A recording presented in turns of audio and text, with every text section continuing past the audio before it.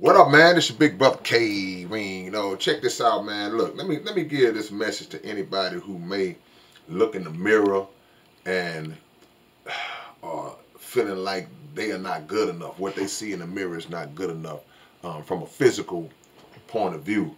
Look, man, you don't have to go out and try to alter your body. You don't have to go out and try to change things about your your physical anatomy in order to um, be accepted or make yourself feel like now I, I look good. You already are perfect in the way that you were created. And I know a lot of people don't want to hear that. A lot of people say, oh, see y'all say that. You can say that, but I know the difference when I go out. You know, I know how they look at this woman compared to how they look at me or don't look at me and I want to look like that, and I want.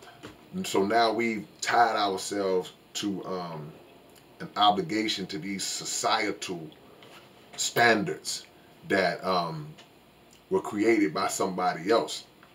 There's no flaws in your makeup. So the the thought process now is okay, man. I got I got to go get my my breast done. My breasts ain't big enough. I gotta go get my butt done. I gotta go get a BBL so I can have that that round bubble butt. I gotta do this. I gotta do something to my face. You know, my nose too big, my lips too big, all these different things. And understand that we understand that a lot of those thoughts and feelings are rooted in things that may have taken place a long time ago. You know, you was in school and people was laughing at you, talking about you had big bubble lips or something like that, or you had a flat butt, so they was calling you slant back, and all these different things in school, and um, just just saying different things that may have, in their mind, we just joking and playing like young people do, but not knowing that, okay, these things are really having an effect. If a person hears something enough times, even if it's a joke, but that joke is specified. It's, it's one thing you just playing around and cracking on somebody out just playing around, but if that joke is seemingly seemingly specified at a particular area, then of course, you know, somebody always somebody been talking about my nose for all my life, then you're gonna look in the mirror and is there something wrong? Is there something really wrong with my nose? What's why, what's wrong with my nose? And so so I, I get that. It, it has a psychological effect, but we cannot overlook the creator's place in this whole thing. He didn't make a mistake on your nose. He didn't make a mistake on your body.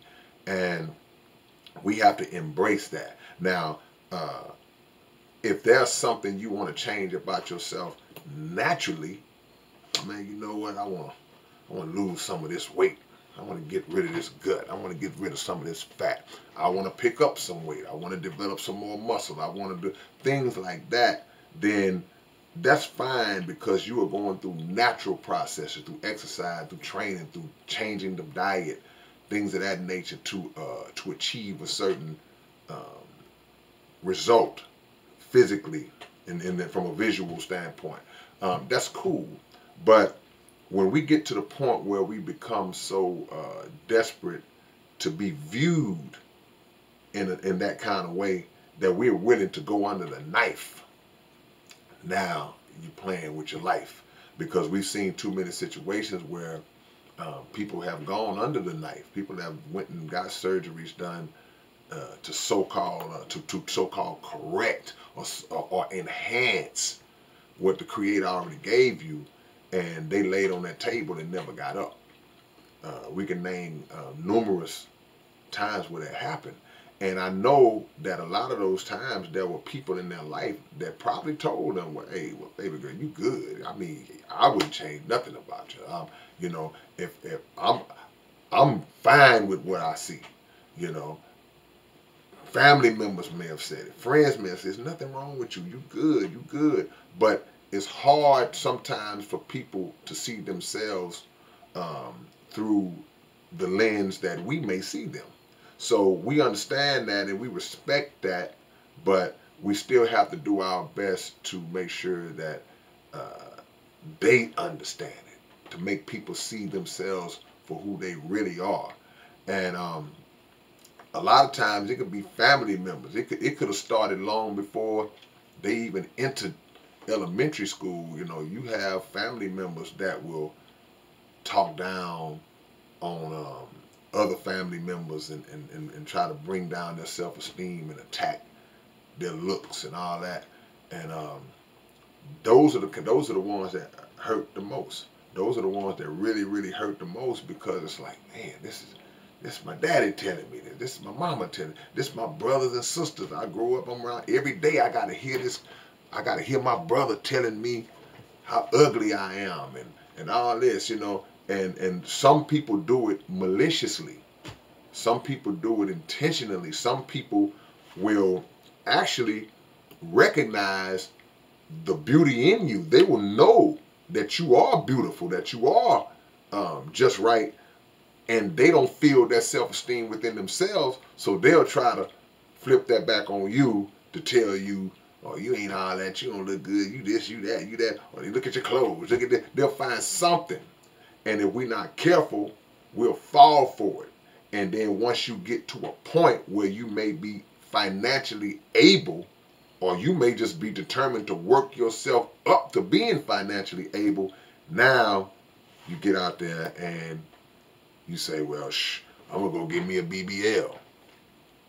I'm going to go get me a nose job. I'm going to thin my nose out. I'm going to do something to my lips. I'm gonna, you ain't going to be able to say that about me no more. And we take something that was perfectly beautiful in it's God shaped form, in its God-given form, and then we destroy it. We destroy it and, and, and make it into something that um, shouldn't be. So don't fall for that. Don't fall for people telling you this and telling you that. They can think what they want to think, but always know, okay, well, whatever you think about me, uh, my creator saw fit to make me like this. So any problems that you have with me, you take that up with him. But I'm not going to let you have me looking in the mirror, questioning and, and second guessing because we live in this dangerous society, man, where, like I say, they're killing people on these tables, man. And if, and if you don't die physically, then they're killing you um, socially because now what happens is it, it, it works in reverse because now when you hate to say, when you destroy yourself, the people who saw you how you were, they are they are horrified in a lot of situations or they, they, they feel sorry, they feel sad that you did that. Like, man, man, she was good, man, he was good. And then you still have those other ones who are gonna mock and make and make mockery and ridicule and really go in so you, you don't win either way. You don't win either way. So don't be so caught up in Instagram and Facebook and all of these um, platforms that put these pictures out and then you may see one sister who okay she went and got her breast done she went and got her BBL done and oh that's how I want my eyes to look oh she looks good with hers or she did this and that but but later on, you start to see, man, those things are collapsing. Those things are. It's it's like they're just degrading and eroding over time, and you know it starts off. You see, you don't you don't know what what they're putting in it, what the process is. You just don't know, man. You just don't know. So that's one of those situations where uh, having the access to do something, just because you have the ability to do something, don't mean you should do it. Just because you have the money and to, to afford to be able to do something doesn't mean you should do it. You know, but that's part of um uh, that's part of the power of that of that sickness. You know, and when I say sickness, don't think that I'm trying to say it in a in a in a disrespectful way. I don't mean it in a disrespectful way, but it is a sickness because it's something that that that's invading your mind to where you really are perceiving that type of move, a surgery like that, as being this is the answer. This is it. This is the solution. If there's something that you absolutely have to done have to do that is a necessity. Like man, I gotta have surgery, or this is going wrong. I had to go get a hip replacement, you know, because this might have happened and this might have happened. I just couldn't, so I had to do that. That's different. I had to uh, have reconstructive surgery because I had a situation, I had an accident or something. You know, that's different. But don't get caught up in thinking that what you are right now and the way you look right now is not good enough. Don't get caught up in that, man, because it's absolutely good enough. And if it's not good enough for somebody that's around you in your circle, then they're not good enough for you. Because that's another side of it. We have the people that will tell friends and loved ones and family, nah, man, you, you straight, you straight. You don't have to do none of that. You perfect. You don't see what I see. But you also have people that will try to encourage friends, family, loved ones, wives and stuff to do that type of stuff. Ah, baby, you need to get you Oh yeah, go on, go on, get your, go on, get your things done. Go on, yeah, you need, yeah, I, yeah, I, am you need to do that. Yeah, you need to do that. If they not satisfied with with how you look, then send them on down the road. Send them on down the road. But don't make the mistake of um, doing something to yourself that even if you don't die on the table, because everybody don't die. That's that it, it happens, but it ain't every. It ain't like 75% rate or nothing like that.